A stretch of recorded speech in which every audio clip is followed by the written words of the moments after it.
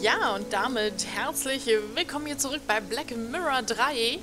Ähm, ich habe ja letzte Folge äh, ja, ein bisschen gebraucht und am Anfang lief es ganz gut und dann, glaube ich, habe ich 15 Minuten versucht, so ein bisschen rumzusuchen und ähm, pipapo. Ich habe jetzt äh, Tipps von euch bekommen. Und zwar gehen wir dazu... Äh hallo? Mit dieses Inventar, was sich hier zuklappt, ne? Voll doof. Ähm, wir müssen wir gehen erstmal wieder zu Black Mirror Castle zurück. Haha. Gut. Und zwar ist der Topf das ominöse Objekt unserer Begierde. Da werden wir jetzt sofort hindüsen. Ähm, zack, rein hier. Ja, ich renne da nebenbei noch. Ich hoffe, das klappt hier so mit der Aufnahme. Darren, ruckelst du? Nö, oder? Das klappt, oder? Ja, doch. 30 FPS sagt er an. Gut, wenn nicht, dann tut es mir leid, dann äh, berührt mich an. So, und zwar die mit Wachs versiegelte Papprolle. Ich muss mein Denken, habe ich jetzt auch schon bemerkt, ähm, für Black Mirror 3 irgendwie so komplett umstellen. Ich soll es mal mit den Zigaretten probieren, habt ihr gesagt. Das, ich habe ich es vorher nicht getestet. Ne? Ich habe auch nicht in die Lösung geschaut. Ich höre nur auf eure Tipps. Es ist ich ja stecke Hammer. die Zigarette in ein Ende der Papprolle. Ja. Wenn man die Zigarette anzündet, mhm. brennt sie runter und bringt das Schwarzpulver zur Explosion. Was du nicht sagst. Die Zigarette ist ja auch einfach... Damit habe ich mir einen Böller selbst gebaut. Ich muss halt komplett mein Denken umstellen. Also in Black Mirror 2 war es eben noch möglich, dass ich geschaut oder geguckt habe, kann man irgendwas miteinander kombinieren? Und Darren war dann eben so, ja, das passt, aber irgendwas fehlt noch. Ähm, jetzt in Black Mirror 3 sagt er irgendwie komplett nein, aber man muss es halt irgendwie später nochmal probieren. Das ist halt irgendwie doof. Naja, was willst du machen? Los, also am Topf und dann raus es damit. Es ist zu riskant, die Handwerker nur in die Küche zu locken. Ich muss sie aus dem Schloss rausbekommen. Aha. Super. Also nicht der Topf. Okay, das war nämlich eure zweite Idee, das Ding dann in den Topf zu packen. Tja, in den Garten. Soll ich das auf so ein Menier klatschen? Hört man das denn überhaupt noch? Hm. Also hier nicht. Zum Gewächshaus vielleicht dort. Vielleicht bricht ja auch ein bisschen das Glas ein oder sowas. Ähm, nein. Äh, dann kam noch der Tipp, ich sollte mir eine Lampe anschauen an der Seite. Äh, an der Vorderseite. Irgendwie eine Lampe. Warte mal, ich gehe mal zum ganz normalen Eingang. Los, Darren. Tatsache, die kann man noch... Ja, habt ihr recht. Eine Glasscheibe fehlt zwar, aber sonst tut sie es nur. Soll ich da den Böller reinpacken?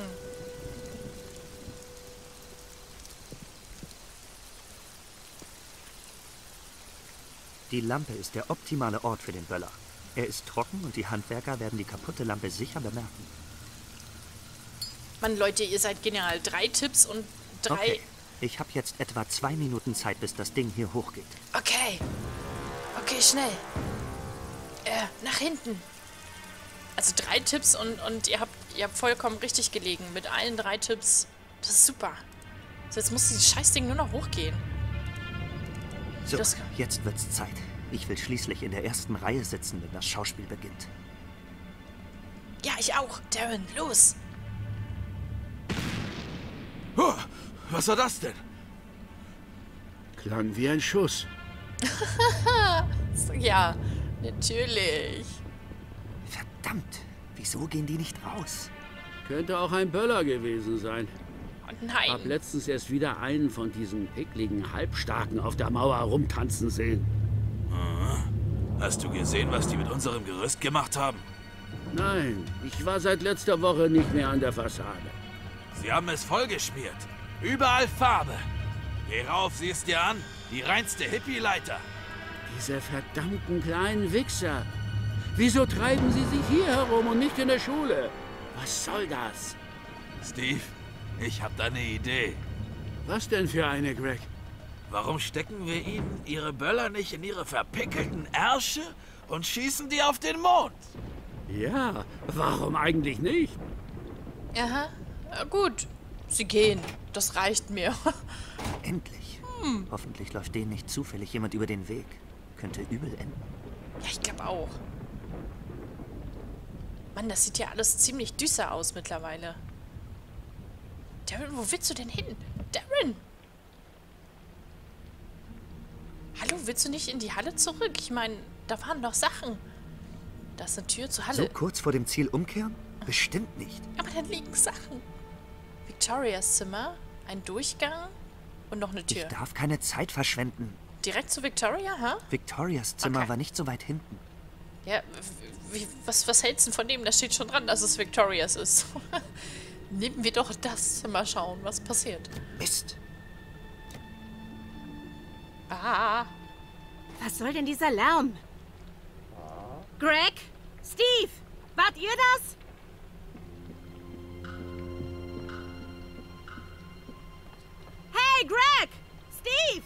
Was ist hier los zum Teufel?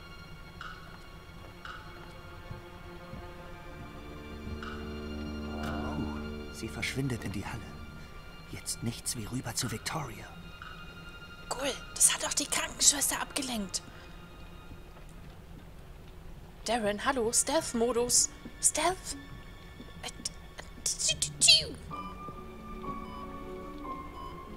Oh Gott, Victoria, ne? Das ist... Die ist bestimmt nicht gut auf uns zu sprechen. Da werden ziemlich dicke Fische auf dem Bild ausgenommen. Voll interessant. Signiert ist es mit W. Gordon, 1921.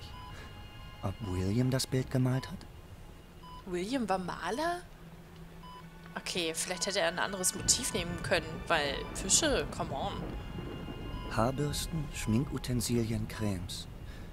Victorias Kosmetiksachen. Ein kleines Kästchen. Wahrscheinlich bewahrt Victoria dort ihren Schmuck auf. Damit hat es bestimmt irgendwas auf sich. Erinnert mich an das Schloss von Lady Eleanor in Wales. Aber zu seinen besseren Zeiten. Als ich dort vor drei Wochen von Tom gefangen gehalten wurde, war es schon halb im Moor versunken. Ja, darum hat sich ja auch keiner mehr gekümmert, um das Anwesen in Wales. Ein Plüschhocker. Wie vieles hier im Raum in Rot gehalten. Halt dich bloß von Kissen fern, Darren, sonst krieg ich wieder Angst. Ein Paravent. Der soll ungebetene Blicke fernhalten. Heißt Paravent. Ankleideraum. Da stehen jede Menge Kleiderschränke. Vermutlich Victorias Ankleideraum. Ein riesiges Eichenbett. Vermutlich war es früher das Ehebett von William und Victoria. William starb vor über zwölf Jahren. Sollte das Victoria in jungen Jahren sein? Seltsam. Sie sieht aus wie Angelina. Oder verhält es sich andersherum? Sind immerhin dieselben Gene. Ja, also, ja, doch ein bisschen sieht's aus wie Angelina, ne? Wenn man da rausschaut, könnte man glauben, draußen wäre tiefster Winter. Oder liegt das an der Kälte hier im Zimmer? Ja, vielleicht auch das. Ähm, verstehe, das Gemälde ist jetzt noch da und das Schmuckkästchen. Noch Sollte was? das Victoria in jungen. Okay, gut. Na dann, auf geht's. Wenn sie uns nicht gleich den Kopf abreißt hier. Mhm. Hallo, Victoria. Victoria! Bitte wach auf, Victoria! Wer? Adrian, was machst du hier? Ich hab doch gesagt, dass ich dich nicht mehr sehen will. Entschuldige, aber ich muss dich sprechen. Ich kann beweisen, dass ich unschuldig bin. Nach der Attacke wird sie das äh, bestimmt auch glauben. Hm. Erstmal zu Angelina. Hier, Victoria, auf diesem Foto siehst du Angelina, wie sie Miss Valley umbringt. Sieh es dir an. Angelina? Aber wieso? Ich verstehe das nicht. Angelina war es auch, die das Schloss anzünden ließ. Sie hat auch Sally, Catherine und Louis umgebracht. Alles nur wegen Mordreds Fluch. Sie brauchte mein Blut dazu, weil nur die männlichen Gordons in der Lage sind, die Macht Mordreds zu aktivieren. Du weißt doch davon, Victoria. Erzähl mir bitte nicht, du hättest es nicht gewusst. Aber sie war doch meine kleine Angelina. Wie konnte sie nur so etwas tun? Tja, Ich hatte gehofft, du würdest mir das beantworten. naja, so viel Informationen kriegen wir wohl doch nicht. Und wie sieht's aus mit dem Orden, Victoria? Es gibt da diesen Orden, der mich verfolgt hat. Miss Valleys Orden? Ein Verein von Stümpern. Sie wollten verhindern, dass nochmal so etwas wie vor zwölf Jahren passiert. Aber sie haben keine Ahnung, gegen was sie kämpfen. Die meisten sahen es als amüsante Abwechslung in ihrem Leben. Ein bisschen Geheimniskrämerei und geheime Treffen in albernen Kutten. Miss Valley war die Einzige, die wirklich wusste, worum es ging. Der ursprüngliche Orden existiert schon seit Hunderten von Jahren. Er hütet die Geheimnisse im Verborgenen. Dennoch haben wir Miss Valley finanziell unterstützt. Es war schließlich in unserem Sinn, dass du, Adrian, nicht nach Black Mirror zurückkehrst. Verstehe.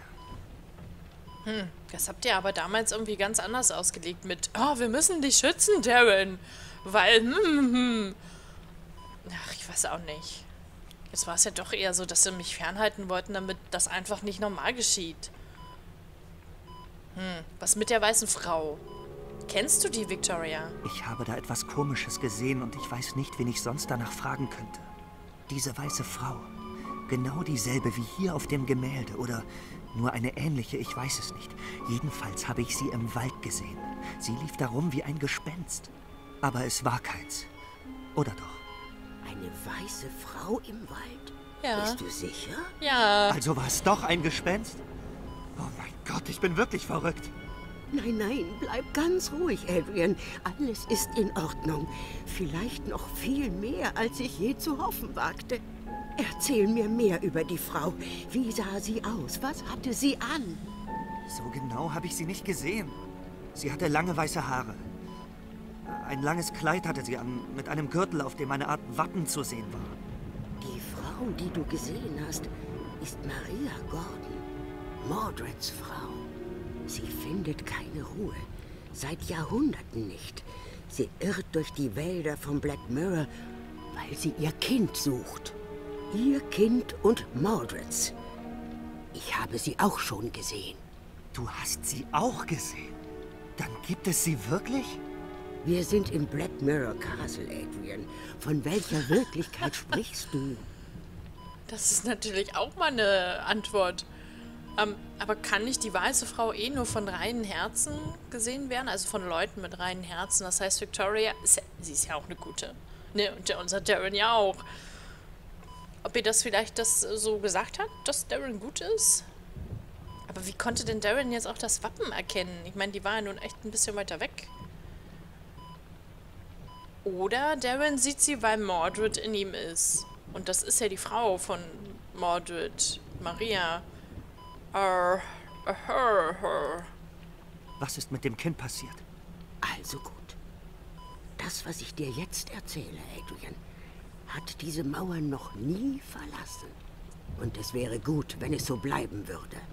Es ist vielleicht die älteste unserer Familiengeschichten und auch die schrecklichste. Du willst wissen, was mit dem Kind passiert ist? Das fragt sich Maria bis heute. Wir wissen nur, dass Mordred es verschleppt hat, weil er annahm, dass es nicht sein leibliches war. Er glaubte, Maria habe ihn betrogen mit seinem Bruder Marcus. Er wollte sie dafür büßen lassen. Was er mit dem Kind angestellt hat, bleibt bis heute ein Geheimnis. Man hat es nie wieder gesehen. Also ist Mordreds Frau fremdgegangen. Und er hat daraufhin alle verflucht? Nein, Maria hat Mordred nicht betrogen. Sein Hass war es, der ihn so etwas denken ließ. Hass und Eifersucht auf seinen Bruder. Dabei hatten die beiden viele Schlachten gemeinsam gekämpft, Seite an Seite. Doch das war, bevor sie nach Black Mirror kamen. Irgendetwas hier veränderte Mordred, verseuchte sein Herz. Er misstraute jedem. Seinen Soldaten, seiner Frau, seinem Bruder, zog sich immer mehr zurück, wurde hochmütig. Zuletzt sah er sein eigenes Kind an und erkannte es nicht wieder, meinte Ähnlichkeiten mit seinem Bruder in seinem Gesicht zu erkennen. Er wollte es töten. Doch ob er es tat, ist ungewiss. Sicher ist, dass er es Maria entriss und es mit sich in die Katakomben unter dem Schloss nahm. In ihrer Verzweiflung rief Maria nach Marcus, bat ihn um Hilfe. Das war für Mordred nur ein weiterer Beweis für seinen Verdacht. Marcus kam, stellte Mordred und tötete ihn im Zweikampf. Doch das Kind fand er nicht, so sehr er auch suchte. Es war wie vom Erdboden verschluckt. Gott, ist das finster. Da habt ihr jetzt nochmal die richtige Marcus Mordred-Legende ähm, gehört. Boah, was, das Kind, und wenn schon, ne? Ich meine, das Kind kann ja dafür nichts. Also, puh. Und mit Mordred hat damals alles angefangen. Marcus hat dann auch die Kirche gebaut, während Mordred, glaube ich, hier in Black Mirror ähm, das Schloss erbauen ließ. Und so beginnt diese ganze Gordon-Geschichte, ne? Vor mehreren Jahrhunderten von Jahren. Und jetzt ist Mordred in Darren. Also das... Ja... Ja, Kopfkrebs, Kopf, Kopfknoten. Na gut. Und der Fluch, der beginnt also seit... Oder ist seit dieser Zeit. Was ist das für ein Fluch? Bevor Mordred starb, verfluchte er die männlichen Nachkommen von Marcus. Sie sollten sein Werk vollenden. Ja, super. Eines Tages würde ein Gordon geboren, der sich dem Bösen verschreibt. Dieser würde Mordred in das Reich der Lebenden zurückholen.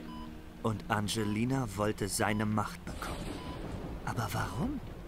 Wenn doch nur die männlichen Gordons verflucht waren. Weil ihr Zwillinge seid muss dieser Fluch irgendwie äh. durcheinander gekommen sein. Wie das? Ich weiß es nicht, Adrian. Es ist nur eine Vermutung.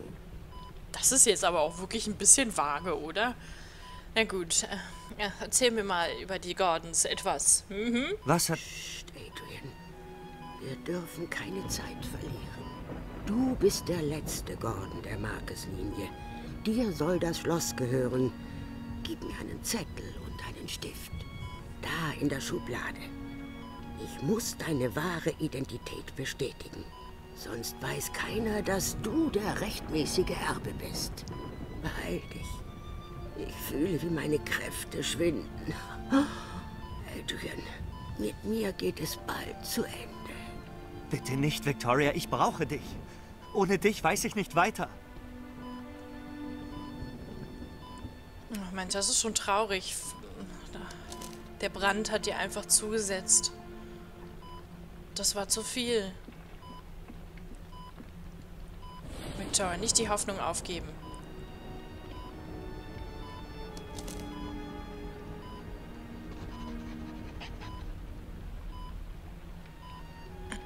Ohne mich wärst du jetzt vielleicht gar nicht in dieser Lage. Wir waren sehr gründlich, was dich angeht.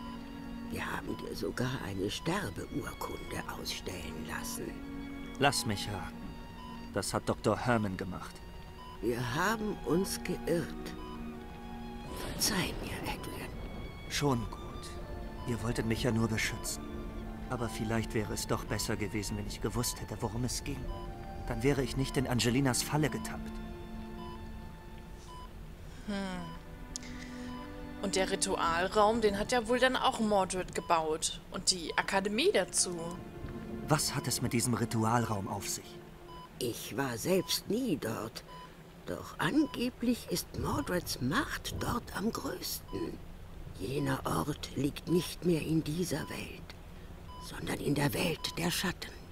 Ich glaube, Angelina und ich, wir haben Mordred gehört, als wir dort waren. Was genau ist denn im Ritualraum passiert? Naja, ich habe alle Aufgaben gelöst. Mein Blut aufs Relief geträufelt. Hast du auch die Worte gesprochen? Ich glaube, ja. Oh Gott, Adrian. Dann ist das Ritual vollzogen. Du hast Mordred damit den Weg bereitet.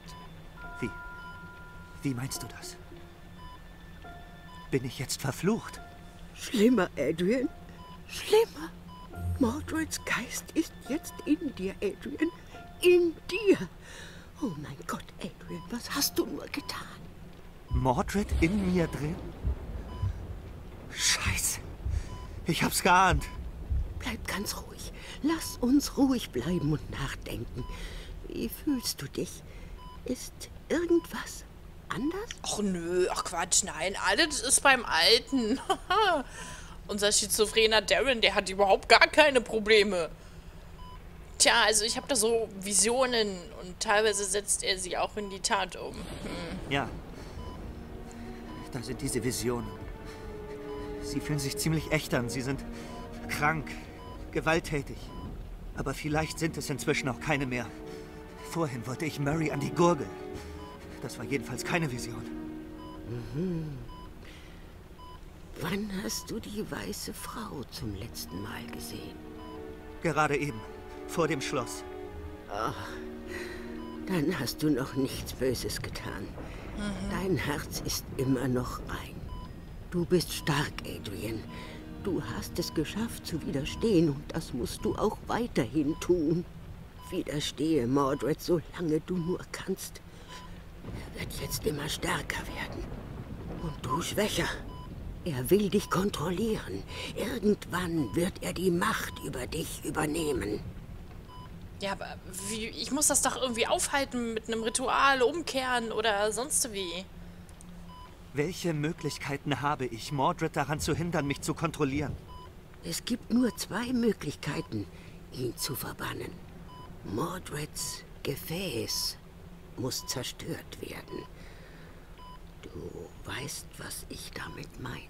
Die Ich Knochen. denke mal, du meinst die Samuel-Variante. Ein kleiner Sprung vom Turm direkt auf einen spitzen Eisenzaun. Äh. Klingt verlockend. Es ist auf jeden Fall die einfachere Variante. Ui. Was wäre denn die schwere? Du musst dahin zurückgehen, wo alles angefangen hat. In den Ritualraum? Aber der ist verschüttet. Wo alles begann. Wo? Aber meinst du dahin, wo Mordred den Fluch ausgesprochen hat? Im Buch steht alles. In welchem Buch? Ich bin so erschöpft, Adrian. Ich. Ich kann nicht mehr. Nein, bitte mach jetzt nicht die Augen zu, Victoria. Bleib wach. Bitte. Sag mir, was das für ein Buch ist. Eine Chronik oder, oder die Bibel? Das Buch. Bitte lies es. Im Raum Welcher Raum? unter der Erde. Die sechs Menhire weisen dir die Eingänge. Welche Menhire? Dort beginnt der Weg, den du bis zum Ende gehen musst. Bis zum Ende. Meinst du die großen Steine rund um das Schloss? Fang dort an. Such bei den Menhiren, Adrian. Versprich es mir. Ja, ja, das werde ich. Versprich es mir. Ja, ich verspreche es. Victoria, bitte warte noch. Du musst mir noch so viel erzählen, Victoria.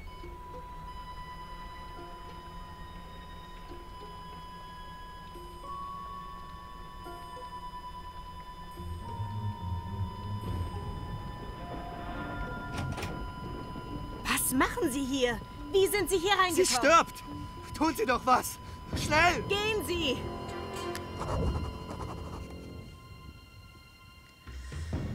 Ach Gott, oh Gott.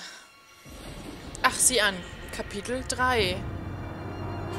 Hm. Das ging fix.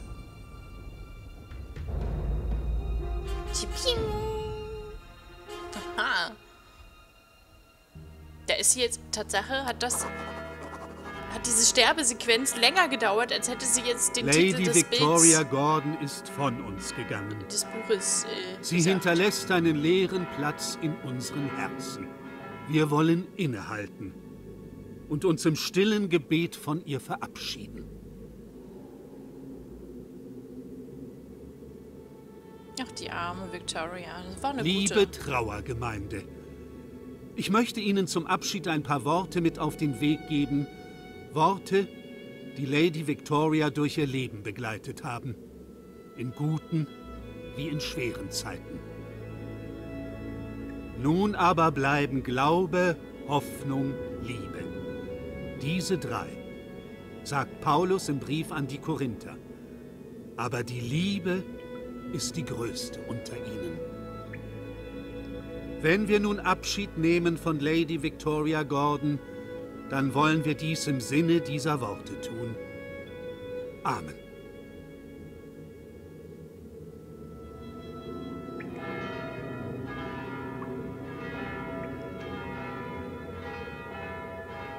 Adrian, mein aufrichtiges Beileid. Danke. Ihre Urgroßmutter war eine ganz außergewöhnliche Frau. Ja, das war sie. Aufrecht und von Herzen gut. Eine starke Persönlichkeit. Ja. Schade nur, dass ich sie erst so spät kennengelernt habe. Besser spät als nie. Sie sind der einzige Angehörige und damit der alleinige Erbe von Lady Victoria. Sie können jetzt ins Schloss einziehen und erst einmal durchatmen. Kommen Sie zur Ruhe, Adrian, und nehmen Sie Abschied. Nicht nur von Ihrer Urgroßmutter, sondern auch von Ihrem alten Leben. Wenn Sie dabei Hilfe brauchen.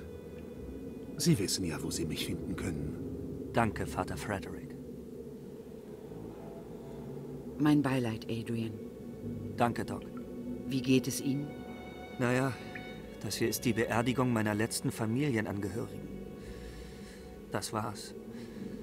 Ab jetzt bin ich allein auf Gottes weiter Erde. Komplett. Da kommt mir die Anwesenheit von Mordred in meinem Kopf direkt ein bisschen heimelig vor. Immerhin gehört er zur Familie. Wenn Sie möchten, können wir unsere Sitzung gleich abhalten. Äh, nein.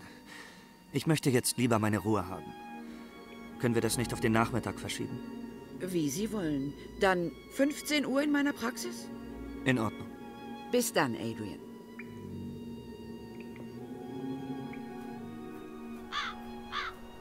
Adrian Gordon. The last but not the least.